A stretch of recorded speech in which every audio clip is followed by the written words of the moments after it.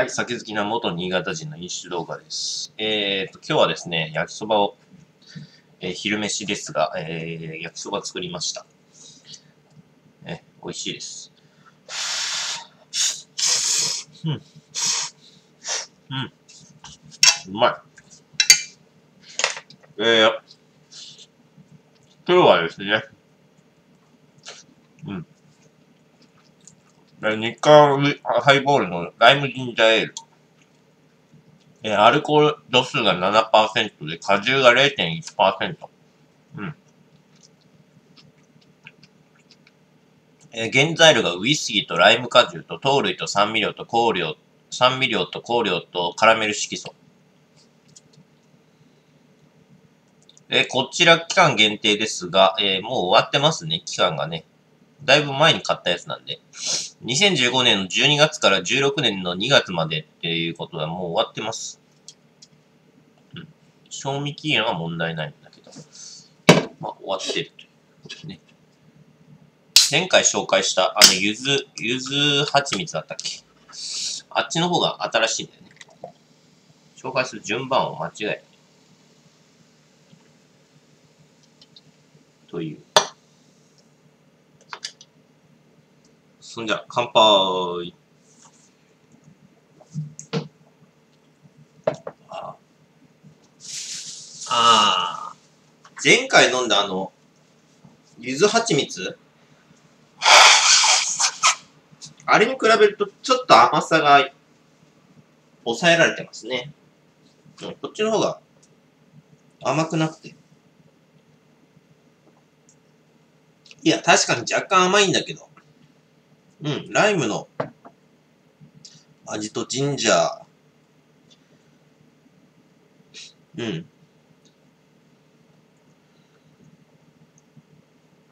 こっちの方が、うーん、どっちかっていうとさっぱりだね。うん。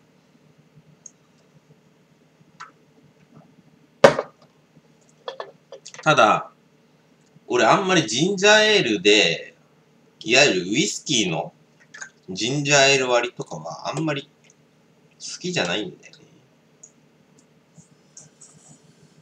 うん。うん。っていうか、ジンジャーエールはね、うん、あんまりね、あの、単品で飲む以外は好きじゃないんです。あんまり。あの、単品で飲むのは好きなんですけど。うん。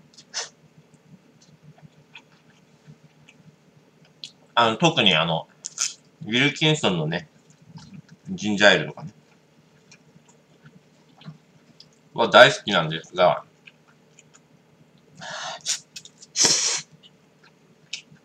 あの、ジンバックとか、にしちゃうと、ジンと混ぜたりと、しちゃうとあんまり、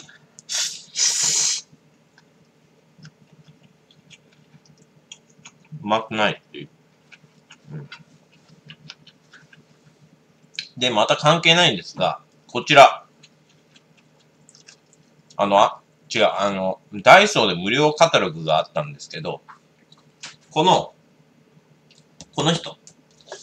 この人ですね。えー、なんだっけ、女酒場放浪記っていう番組が、あれ、なんだっけ、あれは、うん。あれか。確か女酒場放浪記っていう番組があるんですよ。あの、確か有料番組だったと思うんですけど。それに出てる、あの、倉本康子さんっていう人が、なんですが、この人はですね、あのすごい酒好きな人で、この人、ね、非常に、確か42歳だっけ ?44 歳だったっけ？あれ？そんぐらいなんですよね。なのにすごい綺麗なんで、俺は大好きですね。うん。こういう綺麗な熟女は大好きですね。うん。で、しかもね、前も言ったかもしれないけど、すっげえね、ビールとかね、うまそうに飲むんですよ。なんで、女酒場放浪記はね、大好きなんですけど、確か BS だったはず。BS、TBS だったはず。まあ、サイト行くとね、見れます。あの、BS 入ってなくてもネットで、あの、1話だけ、あの、1話だけっていうか、その、最新話だけ見れます。うん。まあ、ぜひ。大体この人がね、あの、やってるわ。うん。他にも人いるんだけどね。大体この人が大体、あの、7割方この人なんです。他のね、人はね、あんまりね、俺好きじゃない。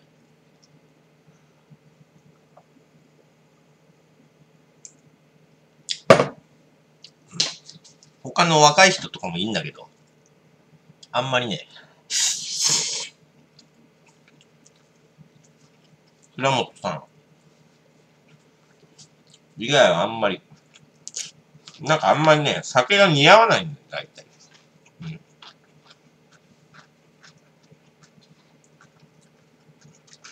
やすこさんはすっごい酒が似合うんですね。うん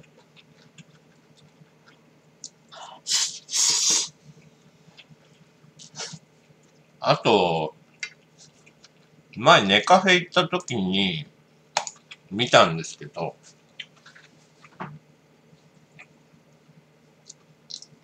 なんだっけな。あの、なんか、プシューとかいうやつ。なんか同じような、あの、酒場の放浪記的なやつで、あれ漫画なんだよな。元は漫画のやつで、それをドラマ化した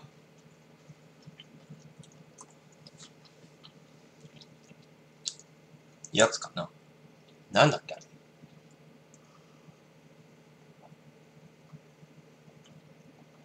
タイトル忘れましたけどね。なんかね、その主人公の女主人公が酒飲むんですけど、酒飲んでどっかいろいろ店回って、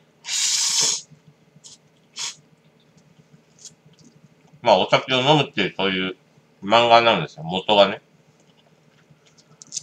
それをなんか、ドラマ化したみたいなやつで、んで、その女の子の口癖が、酒を飲み終わった後に、プシューって言うんです。プシューって言うんですよ。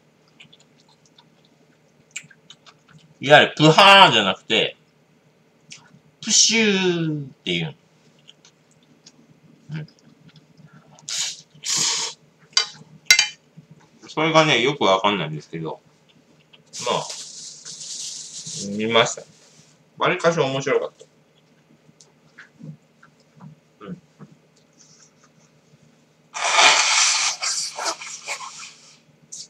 わりかしね。まあ、やっぱりあれです。あれは元は漫画だから、いわゆる美味しんぼ的なやつですね。うん。いわゆる美味しんぼとか、あの、なんだっけ、あのーなんだっけ、あの、グルメ番組。グルメのあの、漫画を元にしたやつ。なんだっけ、あれ。超有名な。誰だっけ、あれ。なんかあの、男がなんか、ハフハフとか言いながら食って、で、なんか、そういうなんか漫画を元にしたやつ。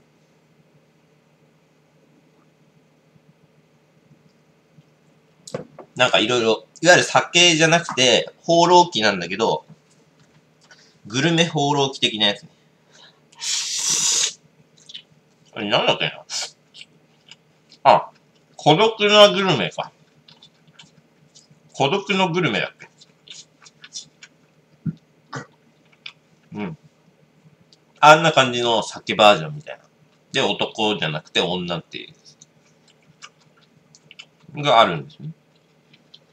でも、孤独なグルメだっけ、孤独のグルメ、もう結構好きですけど、あれは。うん。まあ、面白いっていうか。まあ、でも、うん。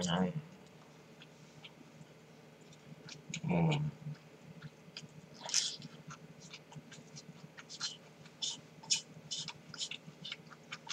まあ、あれはグルメだからね。いきなり昼になんかそこら辺の店立ち寄って、なんか2000円ぐらいのランチ食ってみたいな。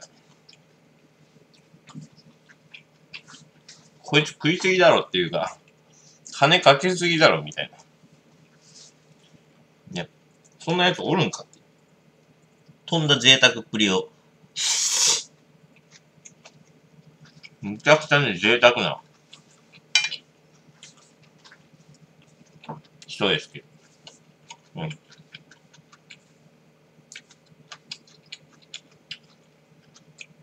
うん。まあでもやっぱりあれだな。女酒場放浪記には勝てんな。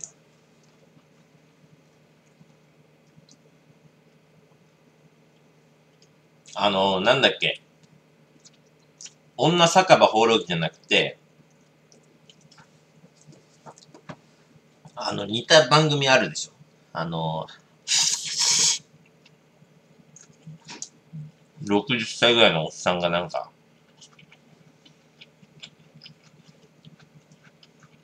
酒場放浪記やっけなんとか、名前忘れたけど、おっさんの酒場放浪記的なやつ。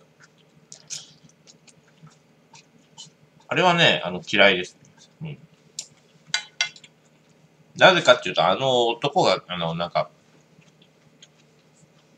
おっさんすぎて、うん。もうちょっと若いやつでさ、30代ぐらいのやつでさ、同じようなさ、番組だったらまだいいんだけど。あれも60代だろ、あれ。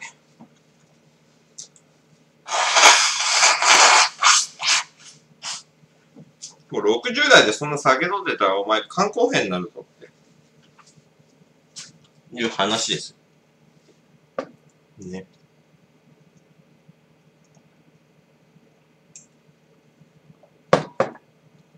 なんか、多分いつかあの人死ぬなと思いますね。多分いつか入院するんじゃない？多分あれ取れなくなるから。あの番組多分いつか撮れなくなる。おそらく。あんな60代で酒ガワガワ飲んで、うん。死ぬんちゃうかな、あれ。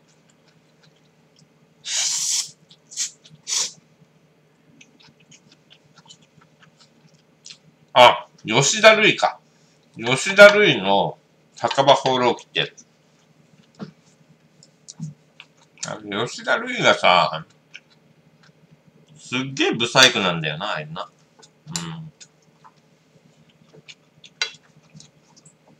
ブサイクっつうかなんか、汚いなんか。うん。なんか汚い、小汚いんですよ。簡単に言うと。うん。だからね、あんまりね、あれは、好きやないんですよ。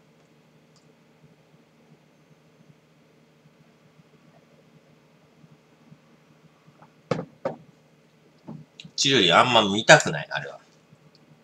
あの人のアップが見たくないんですよ。うん。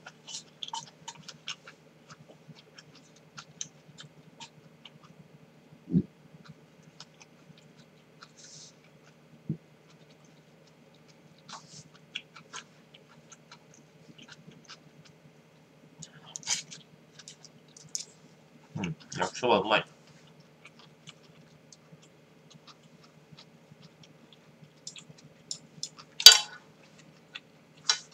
うん、まあ、これぐらいにしとくか。